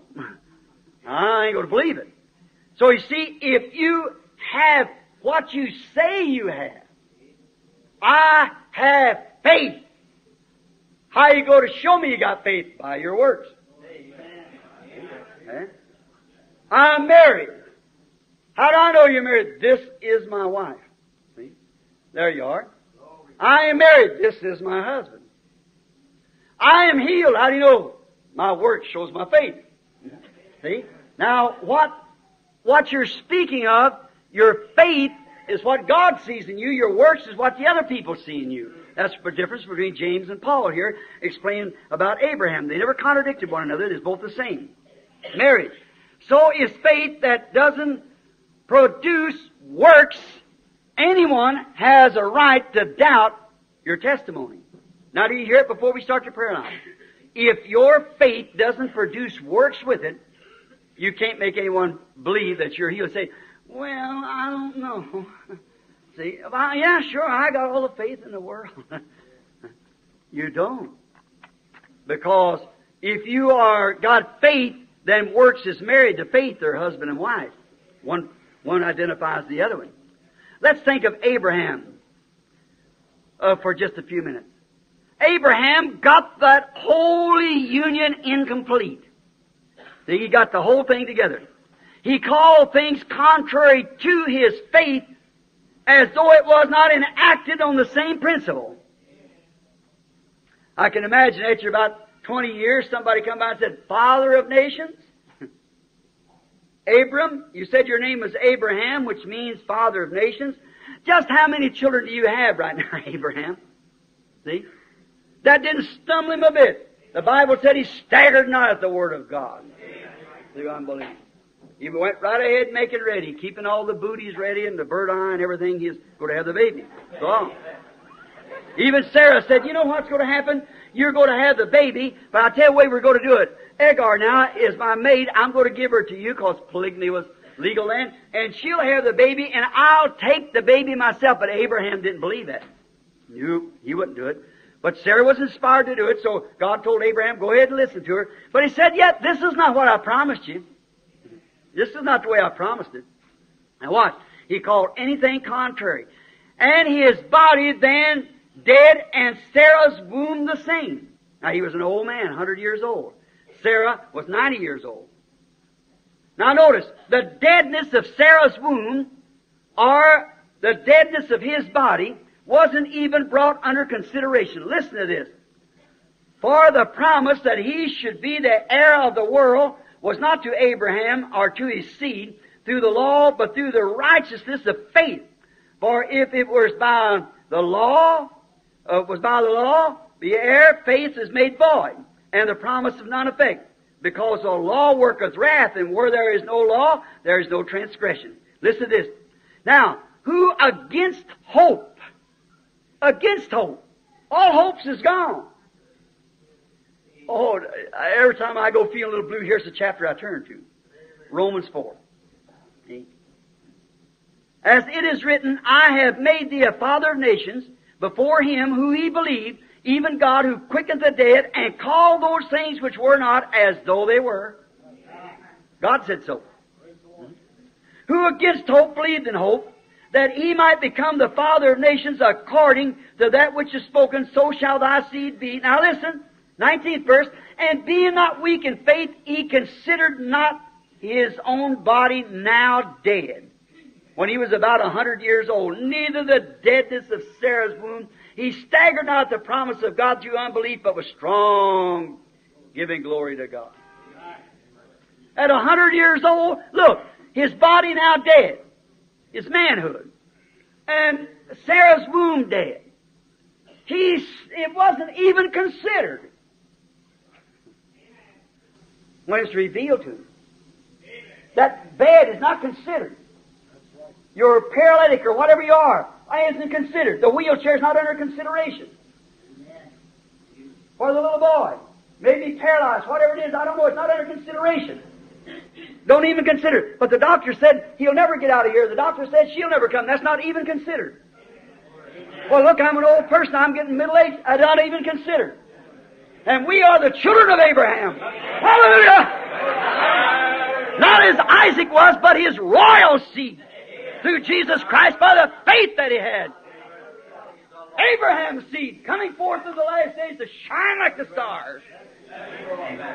Abraham's children considered not his own body now dead, neither even considered it. It wasn't even brought into question whether God would do it or not. God said he would do it. Why? It was revealed to him. Is that right? When it's revealed to you, when it really something you can't make it happen, it's got to be revealed to you. Then you don't even consider anything else. How impossible it is. Don't consider what the doctor said. You don't consider what mama said, what papa said, what the preacher said, what anybody else said. You just consider what God said. He considered not his own body now dead, neither the deadness of Sarah's womb that wasn't even brought under consideration. Oh my. Mm. That just shakes me body dead, and the deadness of Sarah's womb, without even brought under consideration. No circumstances will be considered when faith finds its bedding ground. When a germ Jane, from a man finds the, the egg and the woman and both of them fertile, something's going to happen. Hallelujah! The doctor can say you will not have a baby. I can prove that your your genes are dead in your body, and her eggs will never be fertile. But let that fertile egg, let that germ twist itself to that egg one time. Watch what happens. That little boy or that little girl comes on the scene. Why? Faith has found its bedding ground. Works goes to work. Cell on top of cell. And here comes the little fellow. Amen. God have mercy upon us. Oh God, if we were rugged Christians like we should be, if we were men and women who could take God at His word, you can't do it until it's revealed to you. I got to hurry. Notice, the holy faith of God was united with the holy works of His prophet. Remember, God's holy faith was revealed to Abraham. He received it and by there he started with his holy works by believing the seed of promise had a place to grow.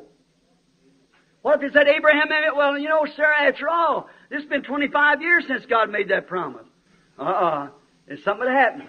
See? But it wouldn't. God knowed it wouldn't. What if the Virgin Mary said, well, now, wait a minute. A virgin conceived? Well, they'll throw me out of my church if I go and say such a thing as that. Now, she would have thought those thoughts. If it hadn't been that prepared bedding ground. When that prophet said, a virgin shall conceive, that settled it.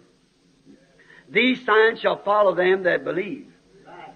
If a bedding ground is laying there, when that word drops there, it takes a hold. There's nothing can stop it. Now quickly, while we finish. See, the seed had a place to hide.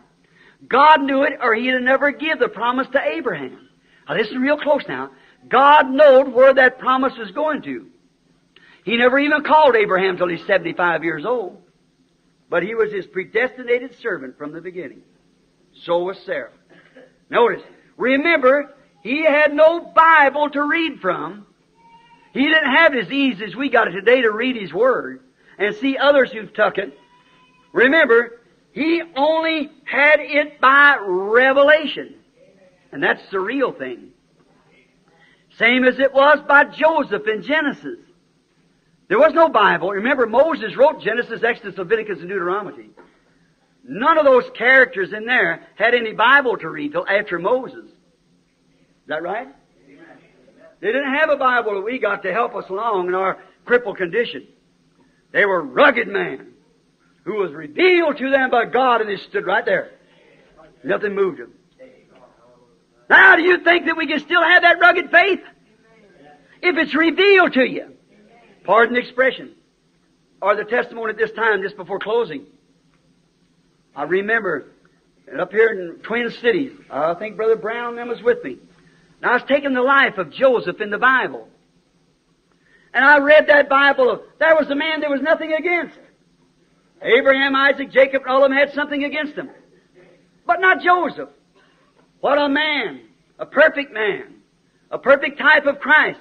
When I read that, I just got to crying one day in my little hotel room, and I went over to the closet where I had my clothes hanging, pulled the door together. I said, God, I want to thank you for a man like Joseph. A man who once lived on the earth, a, a man in flesh like I am. A man that could believe you and take your word. He was hated of his brothers. He couldn't help being spiritual. He saw visions. He could interpret dreams. All of them hated him for it. He couldn't help that. That's just what he was. See? It just wasn't to the others. They ought to have loved him. But instead of that, when he told them sometimes things against him, oh, they say, here comes that dreamer. And they hate him without a cause. I said, why did they do that? And yet that man never moved. He stayed right there. See? I said, thank you, Lord. Oh, God, thank you for such a man. Right then the Holy Spirit revealed to me, said, you'll have a son, and you'll call his name Joseph. I got up from there and thanked the Lord. Becky sitting back there had just been born about it. She's about a year old. She was a Caesarean that runs into my wife's family to be Caesarean because they don't unhinge like the woman should. The bones are solid like a man. And she had to be cut from her mother. And the doctor told me, he said, Brother Branham, don't you never have another child with this woman. Said her womb is as thin as a balloon. He said, you better let me tie those tubes. I said, no, I wouldn't, don't think about doing that, Doc.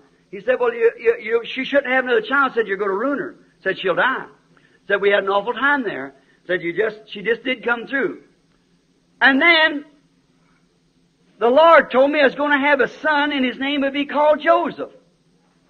I never scared about it. All of you, many of you remembered. I went forth announcing it. I'm going to have a baby. His name's going to be Joseph. How many remembers it? Sure. All around over the country, everywhere, telling people, going to have a baby. His name's going to be Joseph. Just the same as that little boy was raised up in Finland from the dead. Brother Jack was right there when it happened. Told you two or three years before it happened. If you're a little boy, how he'd be dressed, where he'd be laying. God said so. How's it going to be? I don't know. But it was revealed to me that was going to happen. It was revealed to me I was going to Arizona and there'd meet seven angels. And they'd tell me and a message that I was to preach, and that was the seven seals. It happened. How many remember saying that? The tapes of things before it happened. And it happened. Magazines, everything else took the picture of it. That light there in the air, they can't even understand it yet. There it was. I remember calling Brother Jack and asking him about that Christ being standing there, and Brother Jack said that's in his glorified state. See? I love Brother Jack. He's one of the best theologians I know of. But I just couldn't hit this right. I was standing there, I said, Lord, how is this young man uh, here? I said, uh, it was hair like wool. And he said, he is wigged. Watching the book before it ever happened. I said that. And that day, when that happened, it went up. Then you turn that picture sideways. If you got Look magazine or Life magazine, turn sideways. There he is, it perfectly. Hofmann's head of Christ. Amen. Looking right down where I was standing. There it is in the magazine. How many's ever seen it? Of course, you all oh, see. There, looking right back. Proved exactly the revelation was correct. Why wigged? Why, the old English judges, the Jewish judges, used to wear a, a, a wig. They do yet in England. When he's got supreme authority, he wears a wig. And that showed him standing there, wigged by angels' wings. He is the Alpha and Omega. He is the supreme judge. There's none other but him. He's to look upon as Alpha and Omega. And there he was, a young man, no more than 30 years old, wearing a wig of white, showing that he was supreme God.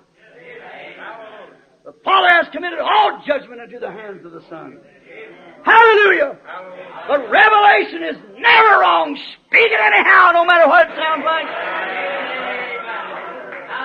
Goes right with the Word. I remember four years later, my wife, we knew we was going to have a baby. Everybody said, is this Joseph coming? I said, I guess it is. I don't know, but I'm going to have Joseph. When it was born, it was Sarah. Then a man called me up and laughed in my face. He said, say, you know what? You meant Josephine. The man died. the man died. I said, sir, I said, God told me I was going to have a son, and I called his name Joseph. There's three people that left a certain denomination church and come to our church and heard me saying that. When Sarah was born, they said, huh, he's a false prophet. I said, wait a minute, ladies. I never said when, neither did God say when. He told me he's going to have a, he's going to, uh, told Abraham he's going to have a Isaac, but Ishmael was born in between that time. Amen. But he didn't take it away. Amen. I said, God said I'd have a boy and they called his name Joseph. The doctor said when he come up, he said, Reverend, I'm going to tie those tubes now. I said, I, I said, don't you do it. Uh, he said, well, you might get married again and have that boy. I said, I'm going to have it by her. God said so. I couldn't read it out of the Bible, but it was wrote on my heart by revelation, by faith. God said so. They want to stagger at the promise of God through unbelief. Some said, You meant Josephine. I said, I meant Joseph. Doctor said, She can't have another baby. I said, She will have another baby. Four years passed. Finally, she's going to be mother again. Then a woman of false prophecy sent forth across the country writing words saying, now Meda's going to die during this time because I was sent to lead Bill. And said that, uh, and he won't listen to me because I'm a woman and God's going to get even with him now by killing his wife.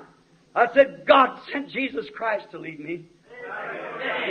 I said, I'm led by the Spirit. Poor little Meda, we had a nurse that's been healed there in the meetings. You all know Mrs. Morgan, and one of Mayo's nurses, the worst case of well, she's on the record dead about 20 years ago of cancer, sarcomas cancer in Louisville, right on the Baptist Hospital record. She's nursing in, in Jeffersonville Hospital now.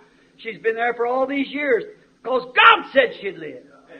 And so Meda loved her. She said, I want Margie to come with me, Bill. I don't feel like going to the hospital. I said, don't make, we love Margie. But Margie's not our God. Margie's our sister. And I took off up to Greens Mill. She got me all tore up. Of course, I love her. And I went up to Greens Mill and she said, Bill, you think I'm going to die? And I said, I don't know. But the baby's going to be born anyhow. You're going to have a Joseph. She said, is this him? I said, I don't know, honey.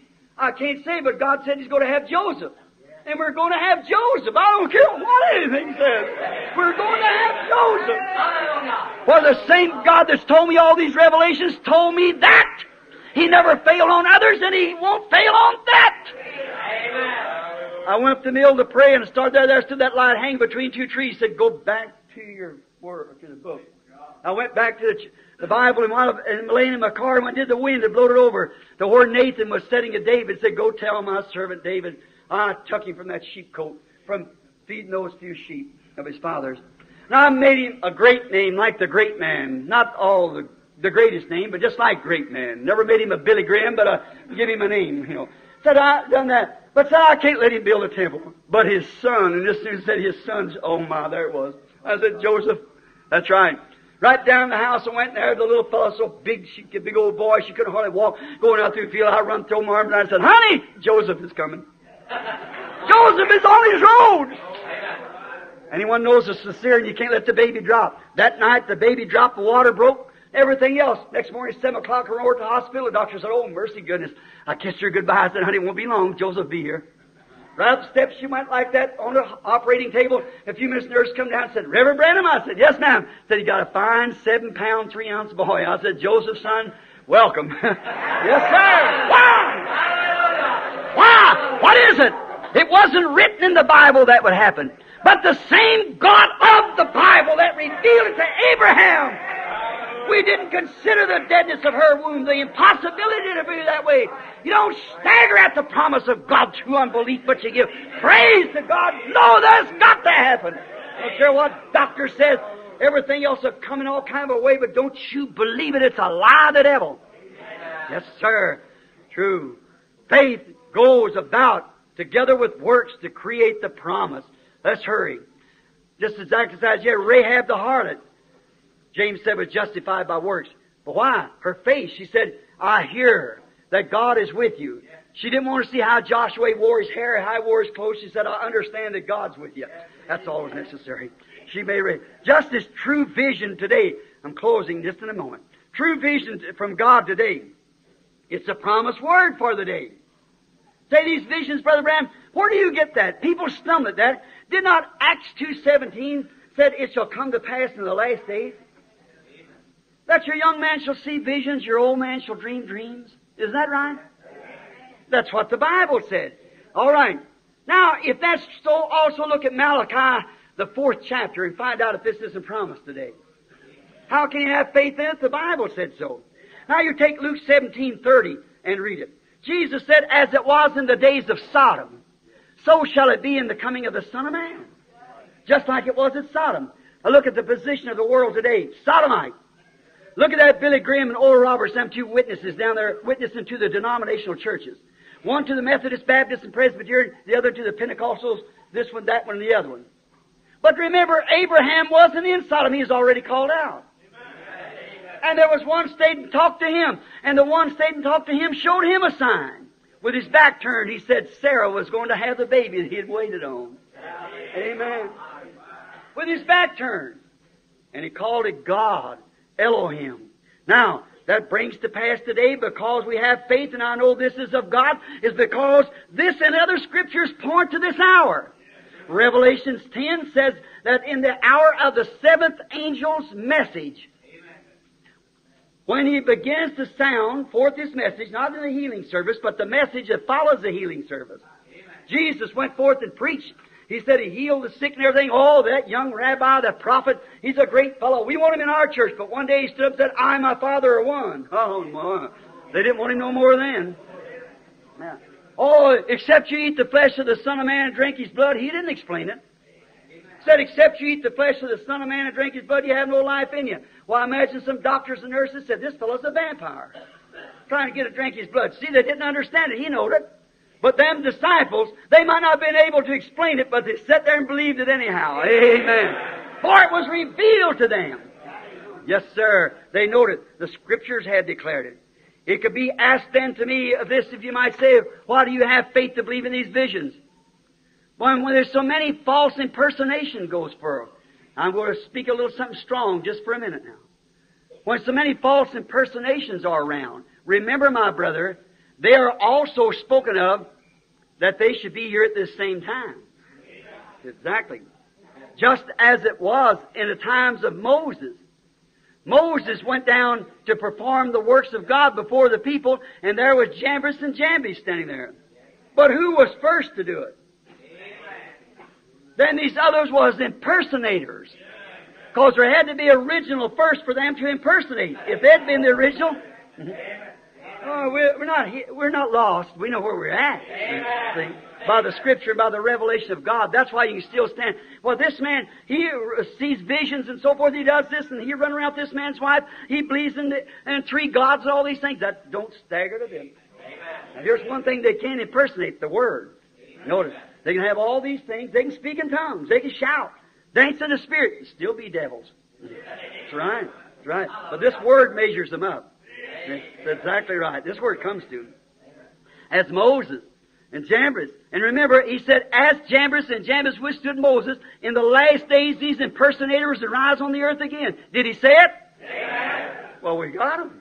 Amen. Well, that didn't stagger Moses. When Moses turned around and done a miracle in the name of the Lord, and here stood these impersonators done the same thing, That that is time to say, well, I guess I better quit and go off the field. He stayed right there. For what? It was revealed to him. Hallelujah. He knew by the Word of God. He knew the Word would finally catch up with him. He knew there'd come a time when the Word would manifest itself and they couldn't go no further. So have I known this all these years. Amen. Right. That the time would come when any miracle, if God sends a real miracle, there's always a change in the whole system. If God sends something into the church and the old system's not changed, He sent it in vain. When a message goes forth in signs and wonders, there is a message follows that. When Jesus went forth healing the sick, then come his message. I am the Father or one. I am He. See? See, they, they didn't believe that. They believed his miracles. He said, if you can't believe me, believe those miracles. Well, they testify to you who I am. Oh my. Glory. Who was first? Moses. Then they impersonated him. But the great truth still remains the same. Between the right and wrong, they cannot accept the message. Amen. Amen. They cannot accept the message that's unadulterated from the Word of God. I don't care. Judas could have done all kind of signs and wonders, but when he come to receive the Holy Ghost at the day of Pentecost, he showed his colors. That devil can come right up and impersonate right to the very thing that comes to this word, but he can't take all that word. He can bring it all up maybe to one word, like Eve did. The devil did Eve, but he can't cross it all because the whole, the whole thing is the body of Christ. See? Word now. Neither could, they could not, cannot take the message now, neither could Jannes and Jambres take Moses' message. They could not do it. Their works of impersonation was made known because they could not be able to follow God's word vindicated by his anointed prophet. Amen. They could not follow Israel out. Why? They were denominational Egyptian babies. They could not follow that word. If they did, they had to leave Egypt, and now all was good to them, and they couldn't do it. Although they could impersonate the works and do what Moses did, but their folly was made manifest when it come time to leave. Then God really poured out it on them. Same now.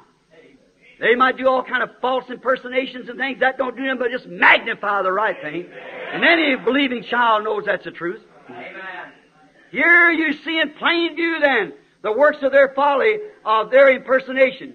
If your if your works is the true word and vindicated by by your faith, it will manifest and uh, as a promise of God in its original written word. Jesus said, "If I do not the works, listen close. If I do not works, let me add this to it.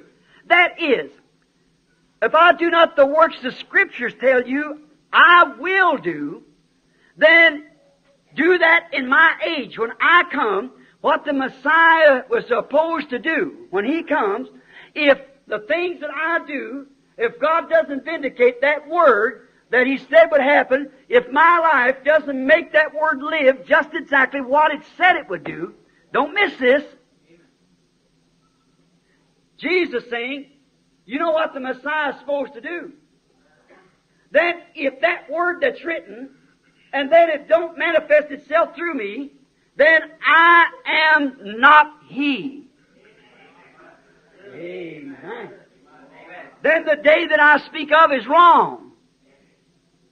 What John said about me was untrue. And then if I, not that Messiah, if those works that Messiah was supposed to do, He is to be the Lord your God shall raise up a prophet like unto me, and you haven't had a prophet for hundreds of years. And if them works that I do, that God promised, if they aren't manifested in my present life, then I am not He. But if the promised word of this age is vindicated in me, then I am He. Right. And the promise has come to you. Amen. Oh my. Don't see how much plainer it could be. Amen. If the promise isn't. Oh, then if the promise of that day is manifested in my ministry, said Jesus, then I am He. So if you can't hardly believe who I am, then look at the works as promised for this day. Amen. Look at the works as promised. If them works isn't fulfilled, every one of them in me, then don't believe me because I've told you wrong. If you can't believe me, just look what the Bible said would happen in this day. If it isn't happening, then it isn't right. If these false things isn't here and all these other things and things are supposed to take place, if it isn't here, then I'm wrong. But if it is, Jesus said, then I'm He. Amen. Amen. I am He that was promised to come. Oh my. Same works that was promised in His day vindicated Him to be that Messiah. Don't you believe that? Well, now, brother, if the works of Luke, the 17th chapter and the 30th verse, the promise of Jesus Christ just before His coming that the world would turn back to Sodom, and the messengers would go out, and the things would be done just exactly. If that isn't taking place, then don't believe me that I've told you the truth. But if it is taking place, then believe that it's Him. In that day the Son of Man will be revealed. Amen. The Son of Man will be revealed in a body of flesh, you people, the church, just exactly like it was before the days of Sodom, a called out group away from all of them. Setting out, leaving the promise of God. Glory. Then the works that the Holy Spirit is doing today by these visions, never failing, promises, never failing, all the apostolic signs promised of the Bible, of Malachi 4, and all, the Revelation 10 7, all of that is being fulfilled and proved by scientific every other way. And if I haven't told you the truth, these things would not happen. But if I have told you the truth, they bear record that I've told you the truth. He's still the same yesterday, today, and forever. And the manifestation of His Spirit is catching away a bride. Let that faith revelation fall into your heart that this is the hour. Now let us pray. Dear God, who was manifested in the flesh in the person of Jesus Christ, that raised up from the dead the third day according to the Scriptures, and ascended on high, and sent the disciples out to disciple all the world, and said, These signs shall follow them that believe. God, to the Pentecostal church of this day, the restoration of the gifts, May, Lord, those men, maybe some of them present here, some of them hearing the tape around the world, may they realize that this is the calling out of the bride, not a Pentecostal message. The Pentecostal message was to restore the gifts back in the church. But this is the calling forth of the bride. Another message that was to come just before Sodom was to be burned. Let them understand, dear God. Faith, I believe this because it's revealed by your Spirit through the Word of God and has been vindicated and made manifest to the whole world. Certainly, Lord, in a minority. Always your groups are that way. But you said, Fear not, little flock. It's your Father's good will to give you the kingdom. So I pray, God, that man will look away from their intellects, will look away from what they might think was right, and look into the Scripture.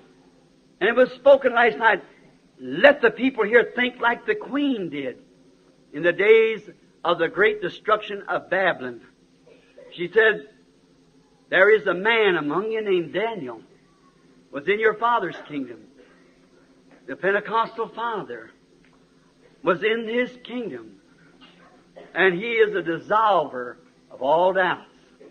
And now, Lord, let the Holy Spirit that was in the Pentecostal kingdom, the kingdom that was Martin Luther's, was John Wesley's, and, and on through to John Smith and Alexander Campbell and down through the age.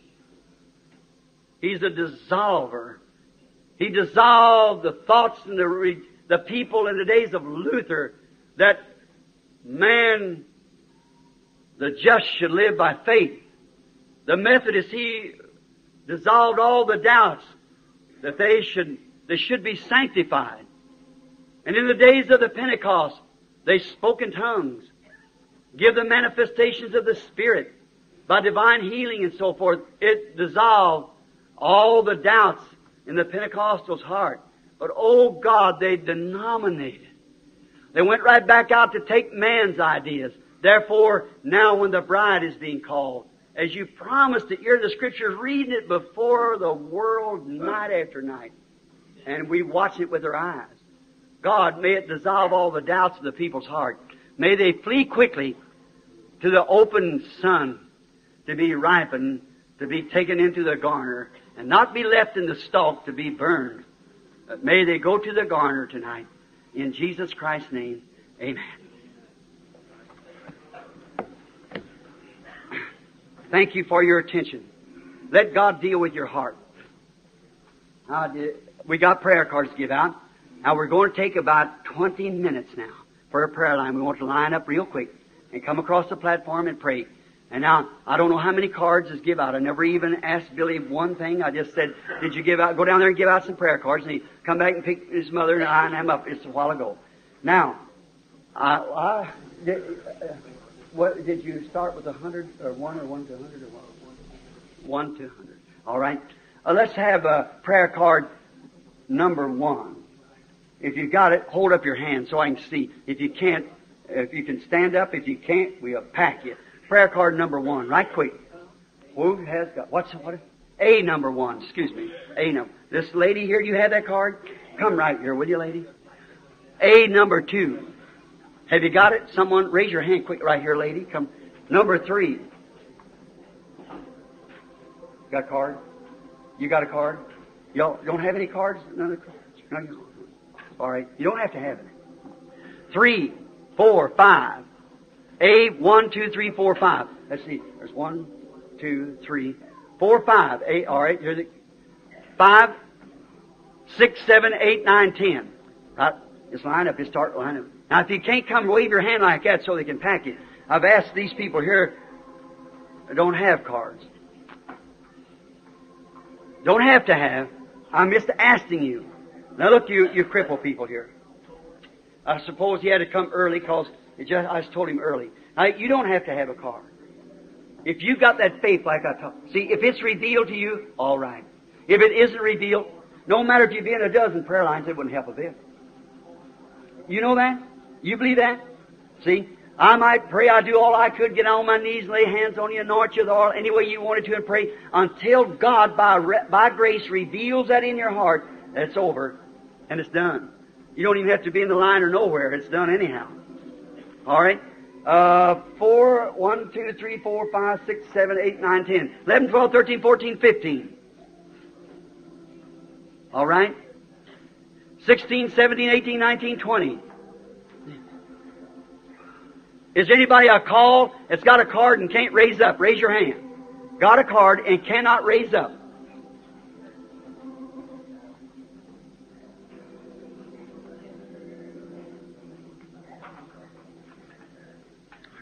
All right?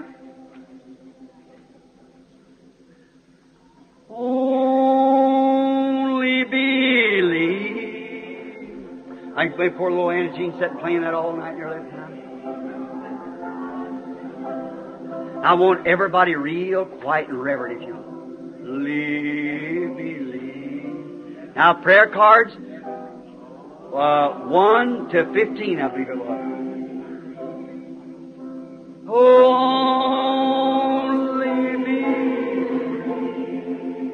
They're getting a little crowded here, so let's let's just start. What do you say? Possible. One, two, three, four, five, six, seven, eight, nine, ten. You get too many. Mm-hmm. That's more we call. That's all right. Stand still, just where you are. Don't know one. Just you'll get you get prayed for, but just see. Just wait till they call your number, and then you know we don't have too many stand here. If the Lord should do something, you blind it off from the people, and they can't see it. You see. God bless you. Now let's pray for these handkerchiefs while they're getting ready. Dear God, here's handkerchiefs laying here that comes from the sick and afflicted. This faith that we've just been talking about, Lord. I remember you're saying in the Bible, in the book of Jude, earnestly contend for the faith that was once delivered to the saints. And from the body of the saints, they took handkerchiefs. Not because they were special people, but because they were believing people. They were a man of like passion as we are. They said Elijah was like that. And he prayed earnestly that it wouldn't rain. God, he prayed that so the people would repent. You revealed it to him to pray for them, to pray in that manner, to fulfill your word. No doubt you showed the prophet a vision. And Lord, tonight I'm praying for these people to be healed. I'm not Elijah. He was taken into heaven. But his life and spirit still lives on. So we pray, dear God, that you will honor the prayers of your people and honor all of us now as we pray for these handkerchiefs. That when they're laid on the sick, they will recover. We realize, Father, that we're a dying generation of people. We're heading face, faced with eternity. The world has gone insane. Murders, little girls being cut to pieces and ravished. The people, man wearing their hair like women, women like man. They're just perverting. The race is dying. The world's a dying. Everything's a dying. The church is dying. Oh God, bring life. Bring life, oh God. Life of faith. Reveal to these people, Lord. I can only pray and lay my hands upon them. But you're the one that can heal them. And you alone can heal them. I pray that you will, Father, to each and every one. Grant it with my hands upon them and asking with all my heart in the name of Jesus Christ, heal these people. Amen. Now, is this Michael? Now, can you hear that all right? Everybody hear that? Raise up your hand. Now, somehow or my heart going to these people here sitting here in this, this chair. Cots and stretchers. They didn't even get a prayer card. But look, brother, see, these people got prayer cards, but that don't mean they're going to be healed. There's people sitting out there in the audience, maybe, and uh, that, that don't mean uh, they're, they're, they're going to be healed. That, that doesn't say that, uh, they will or will not be healed. That all depends on their faith in God. How many knows that to be true? That's all. Just their faith in God. Well, now, how many knows that that's true? No matter how religious you are, how good or how bad you are, unless the grace of God drops that into your heart, you'll never get well. How many knows that God has done it and done it all along? Great miracles, signs, and wonders. And now you're coming tonight, standing in this line. Not because you were chosen to stand in this line by God. That isn't it. You just got a prayer card. You just had to be at your procedure is just exactly like my honorable brother Hirholzer here. Started his ministry many years ago with faith in God, believing God. Believing that God healed the sick by faith. And it never has changed. But God has added in this last days gifts. Gifts that He promised. God did it because, not because He had to, but because He promised to, and if He promised, then He has to do it. Because He has to keep His word. And He promised you the same thing. That is, if you could believe, then it would happen. If you can't believe it, it just won't happen. Now, I can't make you believe, neither can you make yourself believe. God's got to give it to you. It's a gift of God to believe. Not your faith, God's faith. Your intellectual faith might believe it fine. But unless the faith of God is down in your heart, your intellectual faith can accept to do that. And just keep believing it with all your heart until God does reveal it to you. See? Just keep believing it until God does reveal it. But until He reveals it. You say, Brother Branham, what did you say there? Yes, sir. God sent a prophet up to Hezekiah and told him, You're not coming off that bed. Thus saith the Lord. You're going to die there on that bed. Is that right? But that prophet turned, that king turned his face to the wall and he cried out in bitter tears and said, Lord, I need 15 more years. I beseech thee, Lord, to hear me. Now the king was the greatest man in the world in politics. But the prophet was in God's sight. That was God's king, but it was God's prophet. So God revealed to the prophet to take some, uh, some you know, understand? Now, that you might understand now, because I've preached the scriptures here, as it was in the days of Sodom, so shall it be in the coming of the Son of Man. In the days that the church is being revealed, no, in the days that the Son of Man is being revealed. What is revealed? Made known. That right? revealed. The days at the Son of Man is being revealed it'll be a day like Sodom and Gomorrah. Is that right? Now, look what happened. They had two main messengers down there in Sodom and Gomorrah because there was a bunch of lukewarm Christians down there. Is that right? And they had two main messengers. Now listen close. Down in Sodom and Gomorrah preaching. But one of them stood out here was Abraham's group. Is that right? Now look, we have never in all the history of the church ever had a universal messenger to the church that his name ended in H-A-M to now. G-R-A-H-A-M. Which is six letters. G-R-A-H-A-M. But Abraham's name is spelled A-B-R-A-H-A-M, seven letters. See? So the universal church, being the letter of man, six man-made organizations, yet has received their messenger. We've had a Sankey, Moody, Finney, Knox, Calvin, and so forth, but never a H-A-M. Is that right? But they've got it. And he's a messenger sent from God.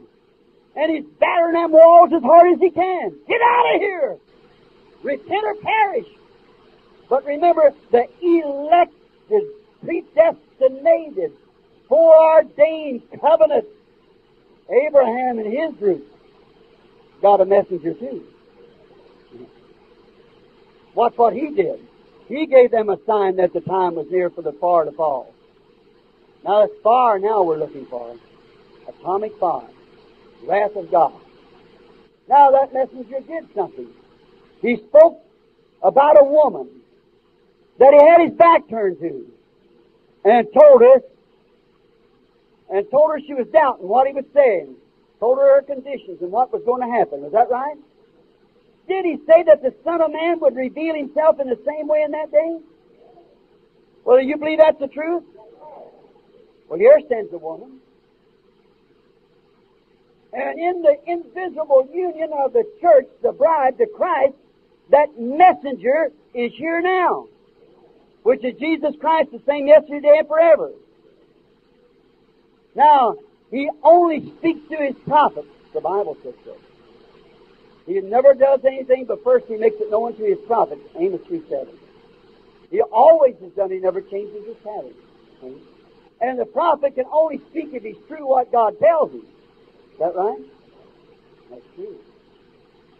Now, do you believe he could tell me what's the matter with this woman before I even look at her? You believe it? Why, she's suffering with cancer. Right, it's on her breast. She's got a boy on her mind.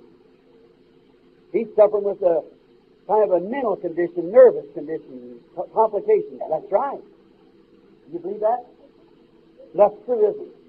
You believe now that your faith was saying that is anchored, that you got it? You're going to have it? Then go in the Lord Jesus will make you well.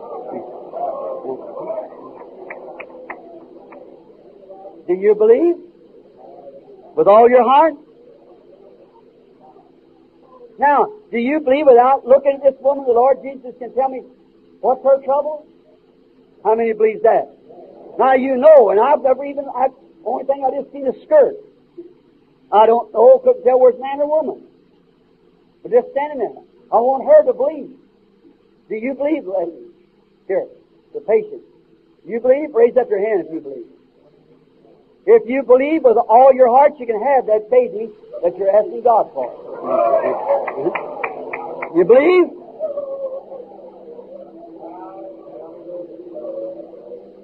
You have faith in God? Now that don't heal, that just identifies. That's the works that identifies the faith of the presence of God. His Word made manifest. This woman is wanting a great thing too. That's not a baby, but she's wanting the baptism of the Holy Ghost. I'll tell you what do. If you'll get rid of them cigarettes, God will give you the baptism of the Holy Ghost. So believe it. You believe? Have you faith in God? This man standing here is a man I've never seen in my life. I don't know him. But he's suffering with something wrong in his chest. He had a fall. He did that not long ago. He isn't from here. He comes from Arkansas. He's a preacher. Go on home and preach the gospel. I've never seen a man this big.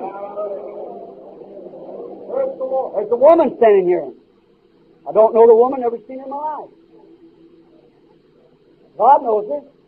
If He can reveal what her trouble is or something about it, would you believe? All of you? This is only work identifying the faith that I had to preach what I told you about tonight. That's what God revealed, and this is the works proving it. Now you have to have faith to get well. This woman here, I don't, I don't think I know her. I don't know her, but I know somebody she knows because I've seen stand here before me. She's suffering with a headache. Isn't that right, lady? You believe that God will heal you? Perry Green's sister. That's right. I never seen her in my life. That's right. I see Green standing looking at me going like that. Right. I don't know where Perry Green's at. Do you believe? How much do you believe? If you can believe, all things are possible. If you can't believe, nothing can happen. A little lady with gray hair sitting there looking at me right here. You believe God? You believe if God can reveal to me what you're thinking about there? You got a tumor on the breast. You believe God can take it off for you? Have faith and believe. Now, what did she touch? The woman that touched the border of his garment. The Bible said, you will get the Bible. He said he's the high priest that can be touched by the feeling of our infirmities. Isn't that right? He's that high priest and he's standing right here. That people are touching him. Here's a little thin woman raised up her hand sitting right here. I never seen her in my life. But she just then touched something. Here's what it was. She's praying to God. She has trouble in her chest. She also has a stomach trouble. God heals you if you believe it. You must believe. All things are possible to them that believe. There's a man sitting way back in the back, looking this way, about the second row coming this way, suffering with asthma. Do you believe God will heal you, sir? If you believe it, God will make you well. You can have what you ask for if you believe it. Here's a woman sitting right here, looking at me across here, red. If you believe with all your heart, do you believe it? All right? That gallbladder trouble will leave you then if you believe What do you think about laying here on the cot? You believe that God can heal you? If God will tell you your trouble, will you believe Him? You'll believe that cancer will leave you. Why don't you rise up and take your bed and go home? You believe? Do all of you believe? Well, now, what about right now? Has God got that faith in your heart? Everybody in here raise your hand. If God's got that faith in your heart, let's lay your hands on one another right down along the line. Put your hands on right now, quickly, while the Holy Spirit's a moving. Put your hands on one another. The man's up, running down the line, praying for others. Let's stand to our feet and give God praise, everybody. There's no need to go any farther. Identify. Jesus Christ the same yesterday, today, and forever. You, what your afflictions are, whatever it is, if you believe it, stand up on your feet right now and believe. Almighty God, the God of Abraham, the God of Isaac, the God of Jacob, send forth your power and heal this group of people just now in Jesus Christ's name. Amen. Glory to God.